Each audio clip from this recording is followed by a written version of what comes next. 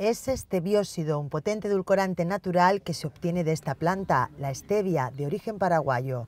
Una spin-off de la Universidad de Granada ha iniciado el camino para construir la primera fábrica de producción ecológica de stevia de toda Europa. Es el edulcorante natural más potente que hay, porque luego hay otros edulcorantes intensivos también, como la stevia, pero que son sintéticos.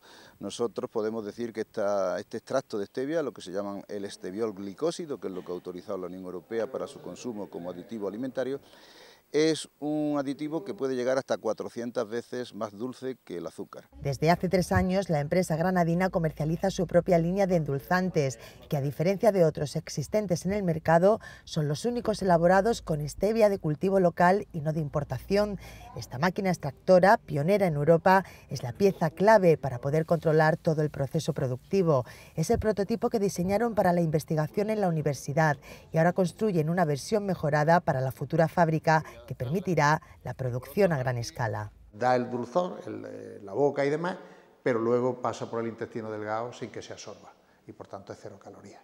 Y, y esa es la gran ventaja de la stevia especialmente indicada para diabéticos, aunque los estudios de mercado apuntan que solo un 5% de los consumidores en España conocen este edulcorante que se vende en farmacias y herbolarios. Lo mejor que se vende en el formato de gota y en comprimido.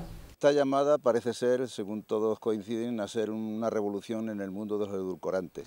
Porque ya es para algunos el azúcar del siglo XXI.